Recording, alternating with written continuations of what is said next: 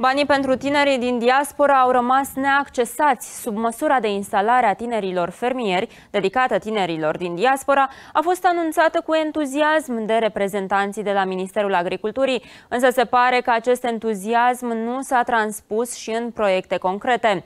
Din păcate, cele 20 de milioane de euro alocate pentru acești fermieri au rămas neaccesați anul acesta.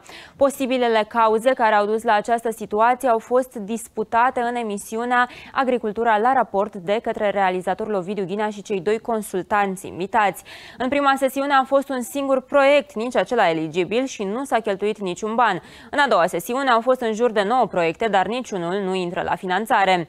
În plus, dacă poate fi numit un plus, tinerii fermieri nu au avut fizic timp să-și facă dosarele așa cum prevedeau normele.